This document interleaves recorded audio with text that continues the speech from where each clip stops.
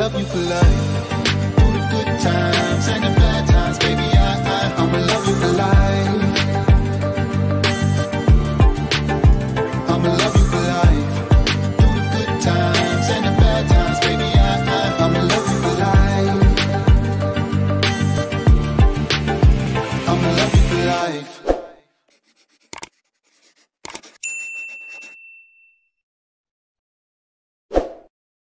What's up, Kyle Bottom guys? This your boy Joe Devance. Came back to a new house, some new shoes, thanks to Titan. Salamat so much. But before I get into that, I want to talk about the PBA bubble experience. Now let's hit the rewind button.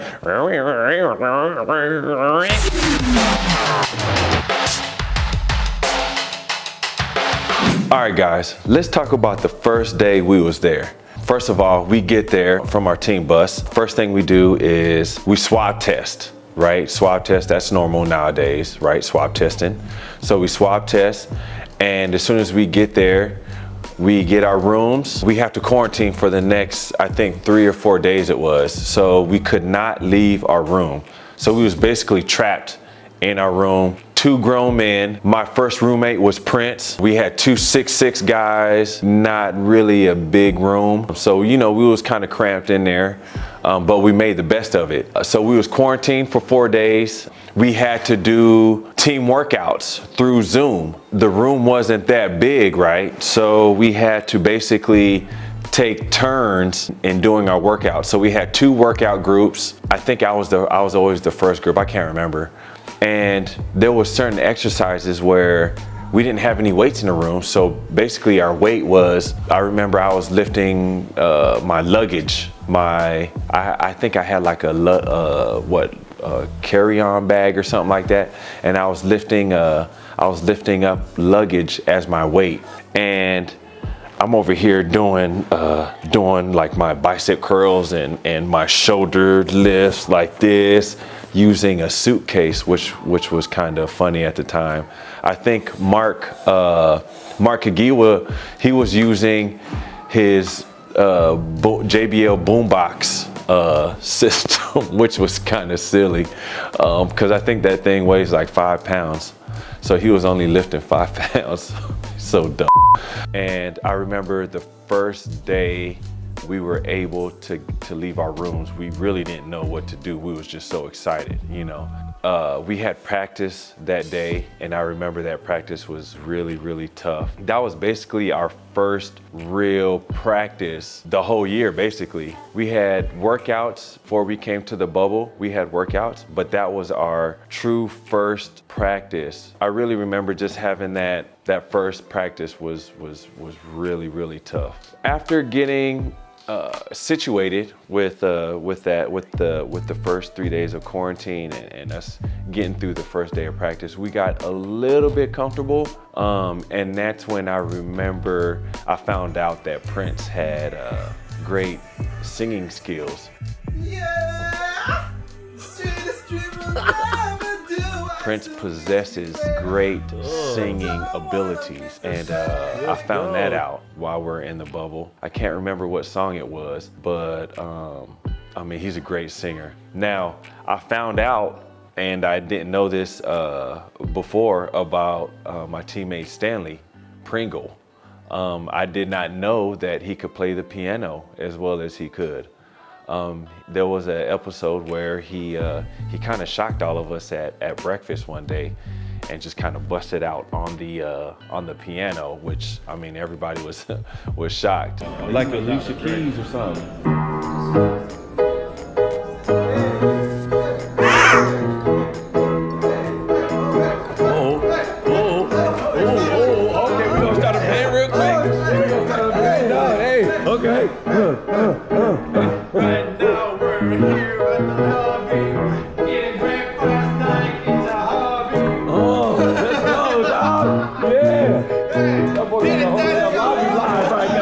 He got everybody else live. I found out then that he was he was into music and he, he makes beats and stuff like that. I had no idea. So that was pretty cool to, to find out about, about Stan. Uh, what else did I learn about my teammates? I learned that Mark uh, has no talent outside of basketball. Uh, so I didn't, I, I thought he would have been talented at something, but I found that out that he has no talent besides basketball. I go to the PBA bubble not in the best of, of shape. So what I was doing was when I first got there, I was trying to do like a fasting. So I was I was trying to eat one meal a day. At first it was cool. It was it was it was all right. You know, I was I was hanging through and there was that one day in particular where I didn't eat for like 26 or 27 hours. Within that window, we had weights, we had cardio, uh, running on the street. We had to run on the street, and then we had weights again. So I had four workouts and I didn't eat not one time. By the time the last practice uh, started, I was already physically drained. I basically just passed out at practice. And then that's when um, uh, JD Stan and Mark had my camera and basically was just making fun of me that episode because uh, because uh, I was just, I was, uh, I basically died or I almost died that day. And who can forget the prank episode? My teammate Raymond Aguilar had uh, some fake rats or something like that, some mechanical rats or something. And at the time, I didn't know that they were uh, that they were fake. Stan, I think Stan or JD or something like that said something. Raymond has rats, just kind of casually. And then next thing you know, I see Raymond in the hallway holding something up and was like, ah, just chasing me down the hallway, right? So I'm like, ah, you ain't gonna get me, Raymond. You ain't gonna get me. So I'm taking off, right? I, I took off and, and just to remind you, we're, we're grown men, right? Running down a hotel like we're some kids, right?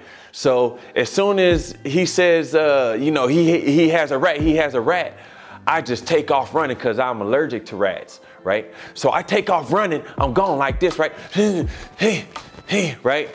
And I just tried to uh, open up the the whatever door was open, and I think it just so happened to be Mark's uh, Mark's Mark in LA's room. So I just bust in there, I shut the door real quick, right? I basically wait till I knew that it was safe to go outside, right?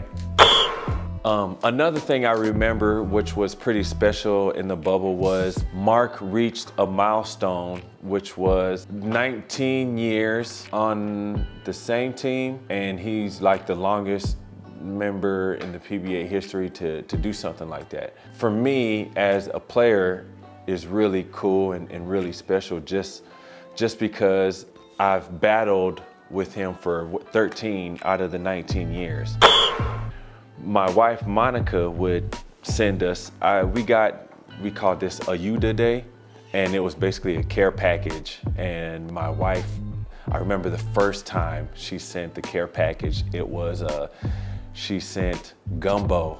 It's, uh, it's, it's some gumbo, okay?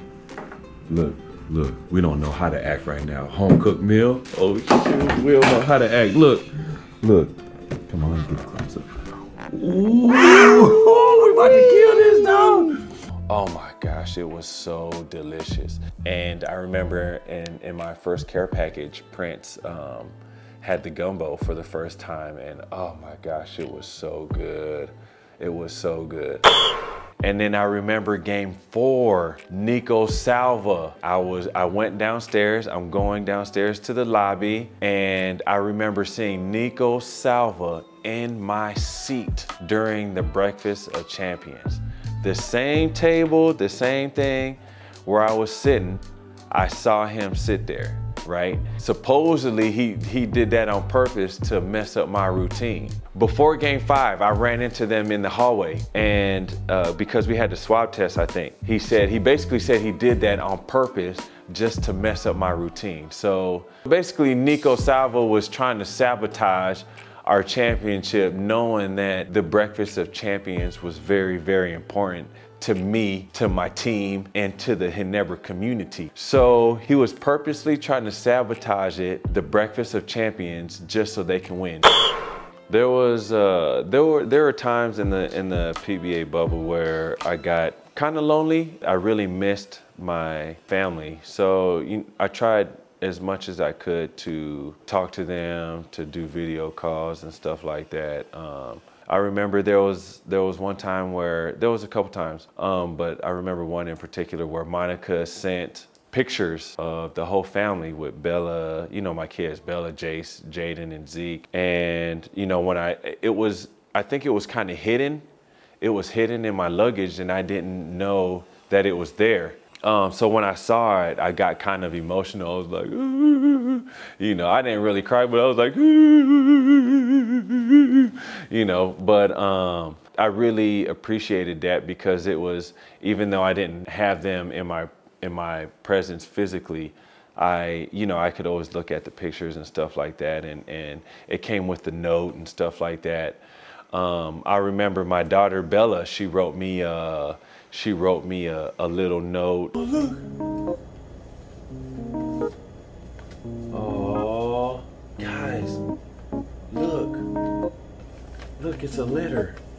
It's a letter with some pictures and I, I think drew me something or something like that. And oh, I, I slept with it, you know, right here. I had like a little desk right here and I slept with it right there. I actually made like a frame. I made like a frame and then put it above my bed like that and I would always read it you know, before going to bed. And then when I wake up, I would read it and give it a kiss and a hug, you know, just to make myself feel good. But uh, you know, it was it was tough being away from the from the kids for so long. I I've never been away from the family uh, for that long, and that was also I mean that was an adjustment that we all had to uh, that we all had to get through, especially me.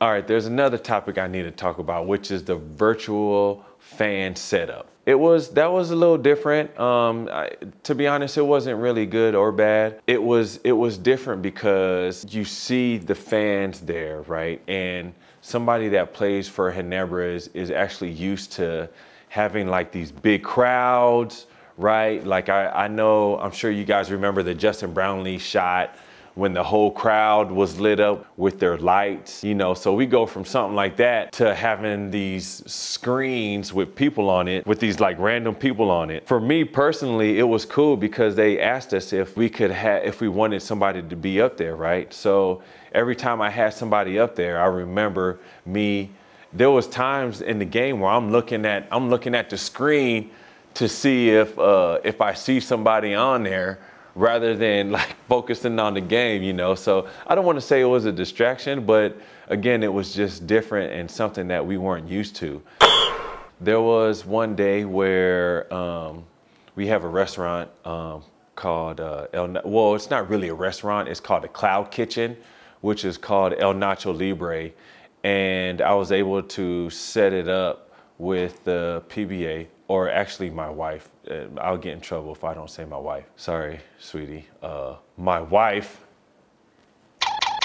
set up uh, the El Nacho Libre delivery. She, she's behind the camera, guys, just so you know. Uh, so I might get in trouble, but I'm a little nervous now. My wife set up the delivery for the team to get El Nacho Libre and um, Tiger Sugar. So that was one thing that I felt was was pretty uh, was pretty cool. That was something that was that was needed because again, for the two months that we was there, we basically had like the same food. We couldn't really get outside. We couldn't get outside food. So um, that's why, that's another reason why we was always looking forward to a U today because we always got whatever food, you know, we really craved. Being in the bubble was once again a great experience. Um, it gave us the opportunity to build chemistry together, okay, like this, one unit. You have one unit here, one unit here, but as soon as you do this, you bring the units together to become one, okay? So we built chemistry, we we were able to come back and play play the game that we love. We all had the opportunity to we felt that our purpose was bigger than ourselves because with the pandemic, right? We gave an opportunity for people to, to have inspiration, for people to stay at home to watch us play. We felt that we, we just had a bigger purpose than just ourselves. That drove us to perform at a high level and you know just to play as hard as we could. And thankfully we were able to make the finals and win the championship. There's there's a lot of behind the scenes that you guys did not see is practice. So from from day one for us working out in our rooms right with with uh, jbl boom boxes to luggages and stuff like that to winning the championship. You know, our growth from that to to winning a championship, everything in between, like that has always been Coach Tim's uh, goal for his teams was was the journey, right? It's not really it's not really about the destination. It's about the journey. So that's one thing that I can say um, about our team is that we really embrace the journey and uh, like I said, we grew so much in that bubble as a player, as players, and as a team. Um, and honestly, I, I think, I think, I mean, it's easy for me to say now because we won a championship, but I think that we grew the most out of any team in uh, in the bubble um, and that's why we won the championship. Um, I was I was too hyped to even notice, but we won the the championship, and you know I go out there. You guys can see in the video, and I didn't notice that there was a certain fan, right? So I'm yelling, and and I go in the bus, so I'm in the bus and then Stan was like, Joe, is that a picture of you? I was like, nah, man, that's not a picture of me. Like thinking like, why would there be a picture of me, you know, out, you know, on the outside? He he keeps telling me, he was like, man, no, that's a picture of you, Joe. So I'm looking outside and then I was like, oh shoot, that that's a, it really was a picture of me and uh, me and my wife. This was really, really cool. A fan made this portrait of me and my wife. This was a picture of when I surprised my wife with uh, a 10 year anniversary surprise.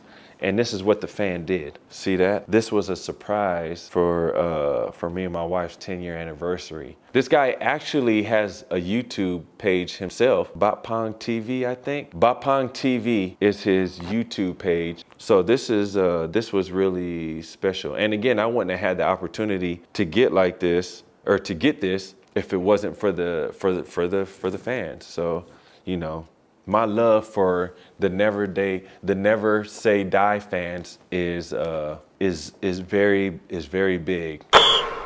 I've been to uh, I've been to a few different teams, but the never say die the Guy fan base is just something that is extraordinary. You guys are the absolute best, like not even close. I want to tell you guys that I I love you guys. I appreciate you guys. Even after basketball, I'm hoping to still be a part of your lives somehow. But these are moments that I will always, always remember for the rest of my life and I'm hoping that if my kids end up playing basketball, I'm hoping my kids will somehow have the opportunity to feel this same way. So I'm very blessed to be a part of your lives and I'm very thankful and I want to thank you guys for joining uh, the channel. I hope you enjoy. Uh, please like, share, and subscribe to the channel, okay?